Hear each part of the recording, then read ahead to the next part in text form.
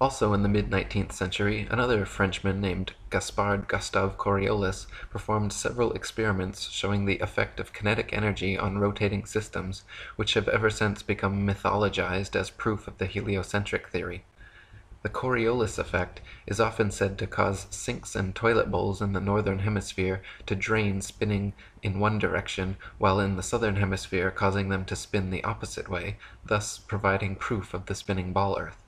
Once again, however, just like Foucault's pendulums spinning either which way, sinks and toilets in the northern and southern hemisphere do not constantly spin in any one direction. Sinks and toilets in the very same household are often found to spin in opposite directions, depending entirely upon the shape of the basin and the angle of the water's entry, not the supposed rotation of the earth.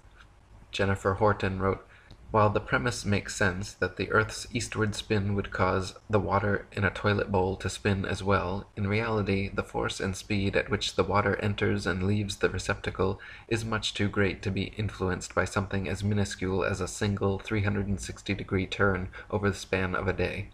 When all is said and done, the Coriolis effect plays no larger a role in toilet flushes than it does in the revolution of CDs in your stereo. The things that really determine the direction in which water leaves your toilet or sink are the shape of the bowl and the angle at which the liquid initially enters the bowl.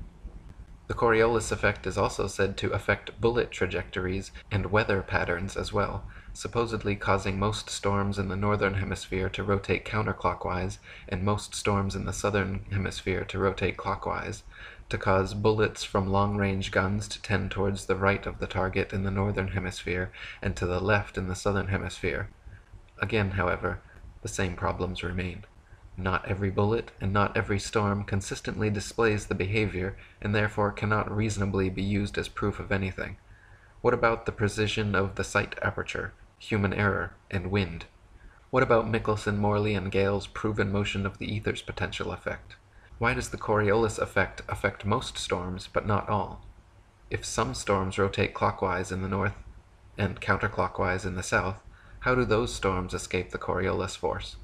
And if the entire Earth's spin is uniform, why should the two hemispheres be affected any differently? Coriolis's effect and Foucault's pendulum are both said to prove the earth moves beneath our feet, but in reality only prove how easy it can be for wolves in sheep's clothing to pull the wool over our eyes. Another supposed ball earth proof is that in the northern hemisphere, sinks, drains, toilets all spin one direction, and in the southern hemisphere they spin the other direction, and this is proof that the earth is a spinning ball once again. However, you can find even within your own household sometimes uh, drains will drain in opposite directions, uh, let alone opposite hemispheres. So th- there's um, you can see videos on YouTube of people doing this trick at the equator. Um, they'll set up a sink and then they'll say, "This is the equator." It'll be in Ecuador or something, and then they'll have the water will go down straight, and then they'll walk a few paces and like, okay, now we're in the northern hemisphere, and the water will go one way, and then they'll fill it up again and go down in the southern hemisphere, do it again, it goes the other way. Everybody oohs and ahs and they, they give a little tip to the, the demonstration and move on to their next tourist destination. what is happening is that the the water will drain based on the either the shape of the basin or the direction that the water is flowing in originally. So this trick is done by just uh, when you fill the water in, you fill it so that it's already spinning in one direction before you pull the plug. And you always have to quickly pull the plug, otherwise it'll always look like it goes straight down. uh, science, science with a capital S for you right there.